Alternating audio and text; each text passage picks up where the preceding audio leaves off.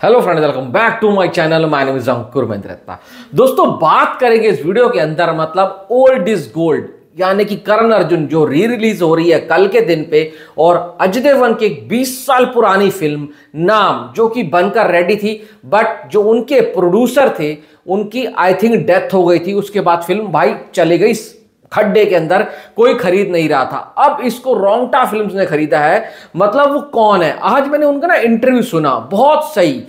कोमल नहाटा को इंटरव्यू दिया उन्होंने। भाई, कोमल नहाटा ने पूछा, नाम फ़िल्म जो कि पुरानी 20 साल पुरानी फ़िल्म है, इसी को क्यों आपने अपना फ़िल्म इंडस्ट्री के आने के लिए चुना? उन्होंने बोला, देखो, मैं चाहता था किसी तरीके से मैं फ़िल्म इंडस्ट्री में आऊँ। वैसे तो वो भाई बिजनेसमैन है और वो क्या करते हैं?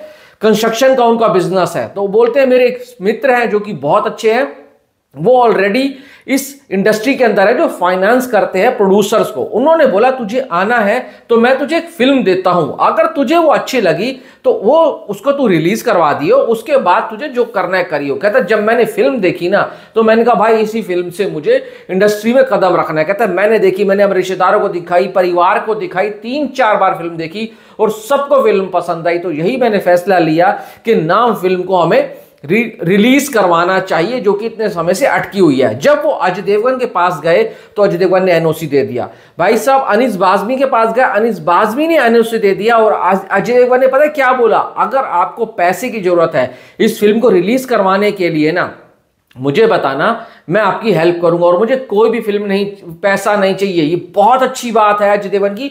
साथ साथ उन्होंने अनिस बाजमी को भी बोला अजय देवगन ने कि भाई, आप भी इनको एनओसी दे दो और कोई पैसा चार्ज मत करना। अजय देवगन ने पता है ऐसा क्यों बोला? क्योंकि ये उनकी फ़िल्म थी जिन्होंने अजय देवगन को ना, भाई साहब ब्रेक दिया था। तो अजय देवगन चाहते थे कि हाँ ये फ़िल्म रिलीज़ हो, पर अजय देवगन इस फ़िल्म को प्रमोट नहीं है, कोई कर नहीं कर रहे हैं, कोई दिक्कत नहीं है। उनके फैंस कर रहे हैं, पर रोंगटा सिनेमा ने इसको खुद प्रोड्यूस करा है और उसको प्रमोट भी कर रहे हैं। कल रिलीज़ हो रही है, बहुत ठीक ठाक शोज़ मिले हैं और बहुत कम प्राइसिंग है। सौ रुपए के आसपास हमारे यहाँ पर इसकी टिकट प्राइसिंग है।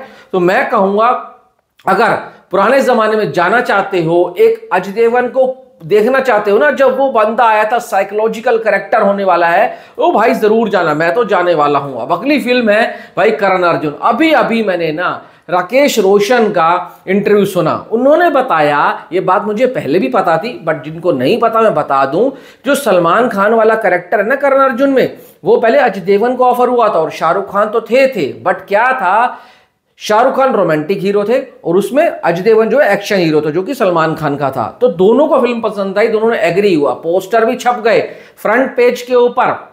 बट शाहरुख और अजय ने डिसाइड किया कि हाँ भाई, हम ना एक काम करते हैं वाइस वर्षा करते हैं। मतलब मैं रोमांटिक करता हूँ, तुम एक्शन कर लो। क्योंकि दोनों को अपनी इमेज तोड़नी थी। तो भाई उन्होंने सीधा अप्रोच किया किसको? भाई साहब the director of the movie यानी कि ऋतिक रोशन के फादर साहब, उनको बोला कि भाई, हमें है ना ये करना है। उन्होंने बोला, देखो, मैं आपको नहीं बोल रहा हूँ, आपने ये करना है। मैं डायरेक्टर हूँ, ये मैं डिसाइड करूँगा कि कौन किसको करना है। तो अजय देवगन तो भाई फिर हो गए बार। वो रोल मिल गया किसको?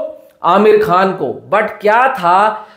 उधर सलमान खान आ गए और फिर आमिर खान के बाद डेट्स नहीं थी, छह महीने का वक्त लगा, उसके बाद आमिर खान चले गए। फाइनली करण जौहर जो, ओ, करण अर्जुन बनी किसके साथ? शाहरुख खान के साथ और सलमान खान के साथ। और अपने वक्त की ना कल्ट क्लासिक और सुपर डुपर हिट फ़िल्म है।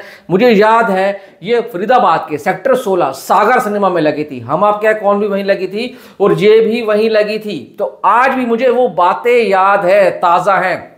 मैं तो जा रहा हूँ कल देखने के लिए, क्योंकि ऐसा नॉस्टैल्जिया दोबारा मिलने वाला है ना कल दोनों ही फ़िल्मों से, जो बहुत वक्त से मतलब नहीं मिला था। भाई, मेरे करण अर्जुन आएँगे, मेरे करण अर्जुन आएँगे भाग, अर्जुन, भाग भाग। भाई, वो सीन और भाई, वो जो सीन थे अपना अमरीश पुरी साहब वाले, जो इस वक्त नहीं है, उनसे बड़ा विलन कोई नहीं आया आज तक इंडियन सिनेमा में, और उनको दोबारा देखने का मौका मिलेगा तो कौन छोड़, छोड़ना चाहेगा? इसके भी टिकट प्राइसिंग बहुत कम है, सौ रुपए, एक सौ पाँच रुपए, एक सौ दस रुपए, एक सौ बारह रुपए। तो मैं तो ये कहूँगा, कुछ नहीं है तो जाकर देख लेना।